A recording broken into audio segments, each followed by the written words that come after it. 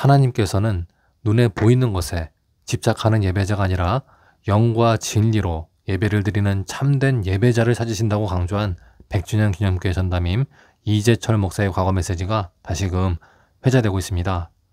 이 목사는 예배는 장소, 즉 눈에 보이는 교회 건물에 집중해서 드리는 것이 아니라 영이신 하나님께 집중할 때 비로소 참된 예배가 될 수 있다고 전했는데요. 그러면서 눈에 보이는 교회 건물의 화려함이나 예배당 좌석수의 시선을 빼앗기게 되면 영이신 하나님께 영과 진리로 예배를 드릴 수 없게 된다고 덧붙였습니다. 영과 진리로 드려지지 않는 예배에서 삶의 변화를 기대할 수 없음도 분명히 했는데요. 다음과 같은 메시지였습니다. 아버지께 참되게 예배하는 자들은 영과 진리로 예배할 때가 오나니 곧 이때라. 아버지께서는 자기에게 이렇게 예배하는 자들을 찾으시느니라. 하나님은 영이시니 예배하는 자가 영과 진리로 예배할지니라.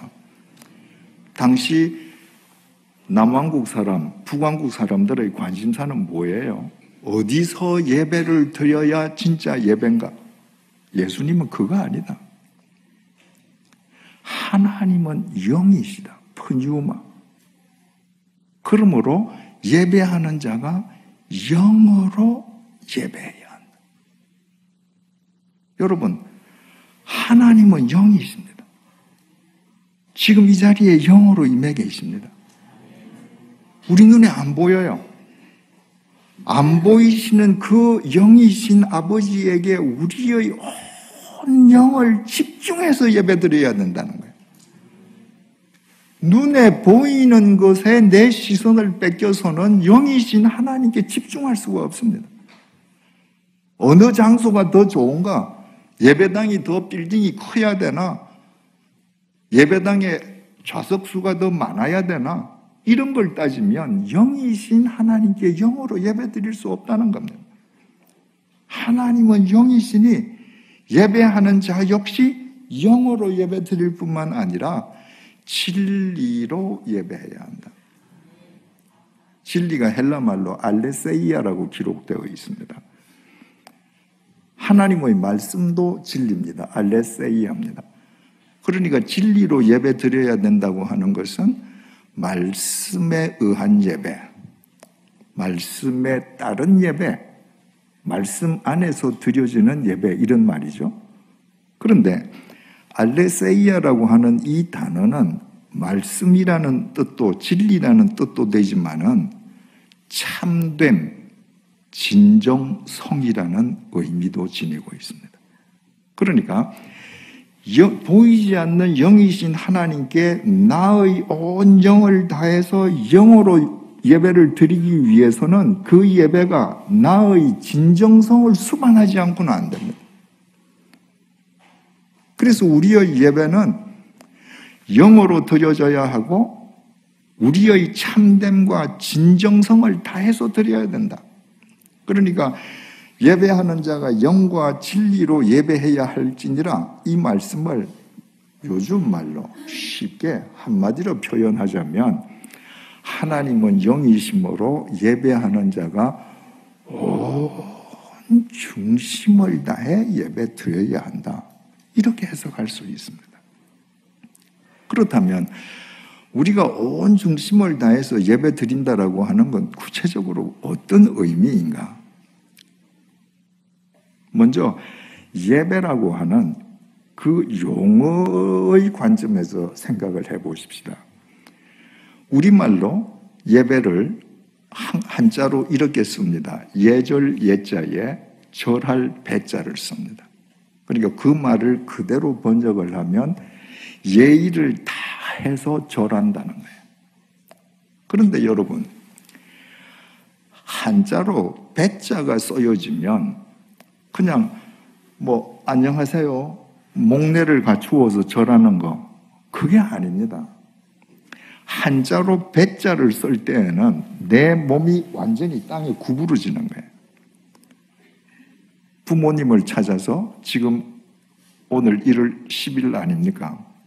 1월 1일 날 부모님을 찾아서 자식들이 새 배를 드린다. 배자가 들어가지요. 어떻게 절, 절 드려요? 땅바닥에 무릎을 꿇고 완전히 엎드립니다. 불교에서 삼보 일배 이런 말 있잖아요. 세 걸음 걷고 한 번 절한다. 그 일배 뭐예요? 그냥 길바닥에 그냥 꼬부러지는 겁니다. 여러분 전쟁터에서 서로 죽이는 적장들끼리 한 테이블에 만날 때가 있습니다. 무슨 강화 회담을 한다거나 협상을 할 때 지금 어제까지 서로 군대를 동원해서 싸우던 적장 두 사람이 테이블을 사이에 두고 앉는 겁니다. 그때 만날 때 절대 장군은 적장에게 머리를 숙이지 않습니다. 왜? 내가 머리를 숙이는 순간에 저 사람이 내 목을 칠 수 있거든요. 그래서 서서, 서로 눈을 보고 하는 겁니다. 남자들이 인사할 때 악수하는 그 예법이 그 적장들 사이에서 나왔다는 예의가 있지 않습니까? 주로 다 오른손으로 칼을 뽑기 때문에 적장들끼리 만나서 오른손으로 악수를 하면서 적어도 칼로 서로 찌르지 않는다. 그러고 인사를 하는 거죠. 그런데 예배, 예절을 다해서 배한다. 내가 완전히 꼬부러진다. 이 무슨 말이에요? 내가 배를 드리는 상대가 나를 죽여도 좋은 겁니다. 내가 당신에게 나를 맡기는 겁니다. 내가 부복하고 있는 사이에 그분이 내 목을 칠 수도 있는 것이고, 내 머리에 꿀밤을 때릴 수도 있는 것이고, 무슨 짓을 하더라도 나는 당신에게 나를 맡긴다. 이게 예배입니다. 히브리 말로 예배를 가리키는 단어가 두 개가 있습니다. 첫 번째는 아바드라는 동사입니다. 이 아바드라고 하는 것은 우리말로 번역하면 섬긴다 이 말이에요. 그런데 여러분 우리 그리스도인들은 섬긴다는 말 굉장히 잘하잖아요.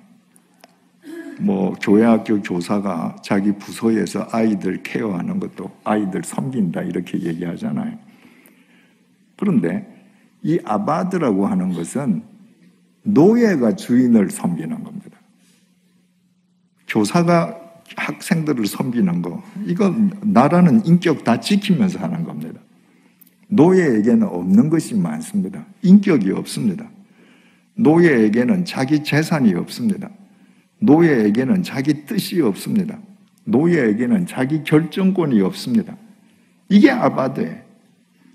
그러니까 내가 예배를 드린다고 하는 것은 내 뜻, 내 결정권, 내 인격, 내 재산을 온전히 하나님께 의탁하는 것입니다. 당신의 처분에 맡기는 거예요. 히브리 동사로 또 예배를 가리키는 두 번째 동사가 샤하라는 동사가 있습니다. 이 동사는 그대로 번역하면 부복한다는 겁니다. 우리말 예배하고 똑같습니다. 그냥 예배 이 샤하를 받는 대상에게 내가 땅바닥에 쫙 납작 엎드리는 거예요. 그러니까 히브리어 동사 이 두 동사의 모든 뜻은 그 예배 드리는 대상을 향해서 자발적으로 나를 포기하는 것.